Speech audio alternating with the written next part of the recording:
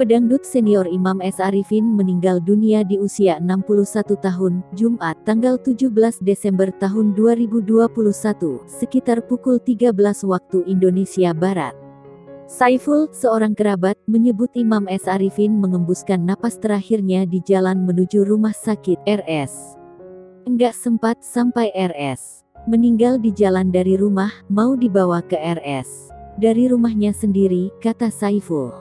Saiful mengatakan, sebelum meninggal dunia, Imam S. Arifin sempat mengeluhkan dadanya yang sakit.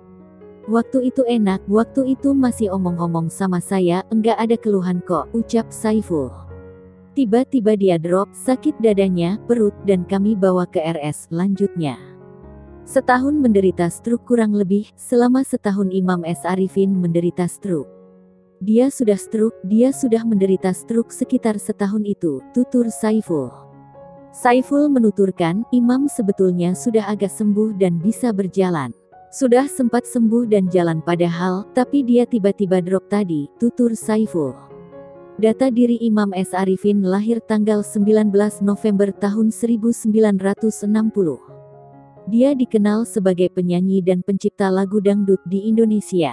Namanya tenar di tahun 90-an dengan merajai tangga lagu dangdut di Indonesia. Terlahir dengan nama Imam Sunario Arifi, dia mulai dikenal dengan single ciptaannya yang berjudul Menari di Atas Luka dan Jandaku. Dua judul lagu di atas mengantarkan dirinya hijrah ke Jakarta. Imam menikah dengan sesama penyanyi dangdut Nana Mardiana yang kemudian menjadi pasangannya dalam bernyanyi.